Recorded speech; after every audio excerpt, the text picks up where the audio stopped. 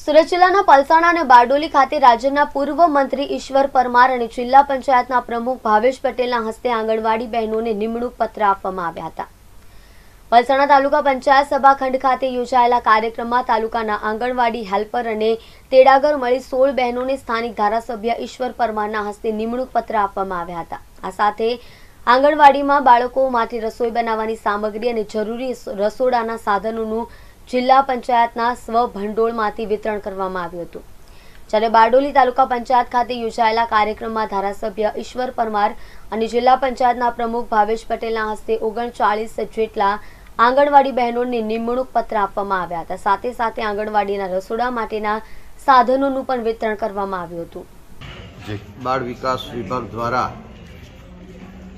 અને સુરત જિલ્લા પંચાયતના સંયુક્ત ઉપક્રમે આજે બારડોલી તાલુકા પંચાયતના સભાખંડમાં આંગણવાડી વર્કર બહેનો, હેલ્પર બહેનો અને તેડાગર બહેનોના ઓગણચાલીસ જેટલી બહેનોને નિમણૂક પત્રક આપવામાં આવ્યા છે.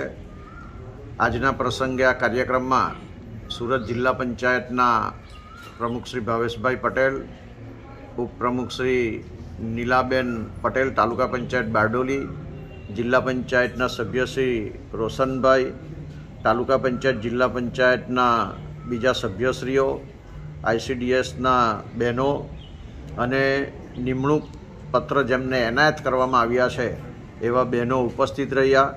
આ જ પ્રકારનો કાર્યક્રમ અમોએ ગઈકાલે પલસાણા તાલુકા ખાતે કર્યો અને આજે આ બારડોલી ખાતે ઓગણચાલીસ બહેનોને નિમણૂક પત્ર આપ્યા છે. સાથે સાથે બાળકોને આહાર આપવા માટે રસોઈ બનાવવાના સાધનો અને પીરસવાના સાધનો પણ આપવામાં આવ્યા છે. ભારતીય જનતા પાર્ટીની સરકાર આ રીતે ખૂબ જ સુંદર કામગીરી કરી રહી છે ત્યારે તમામ બહેનો, જે ઓગણચાલીસ જેટલી બહેનોને આજે નિમણૂક પત્ર એનાયત કરવામાં આવ્યા છે, એમને પણ આ આંગણવાડીના બાળકોના એમના હસ્તે એમનું લાલન પાલન થાય, એમનો ઉછેર થાય, અમને એનામાં એક સારા સંસ્કારોનું સિંચન થાય એ પ્રમાણે એમના દ્વારા કામગીરી કરવામાં આવે એવી પણ શુભકામના પાઠવી છે. અને સાથે સાથે આજનું બાળક એ આવતીકાલનું ભારતનું ભવિષ્ય છે એ બાબત ધ્યાને લઈને સૌ બહેનો સાથે મળીને હળી મળીને આ બાળકોમાં એક સારા સંસ્કારનું સિંચન કરે, ભારતીય સંસ્કૃતિનું સિંચન કરે એવી શુભકામના પાઠવી આજનો આ કાર્યક્રમ પૂર્ણ થયો છે.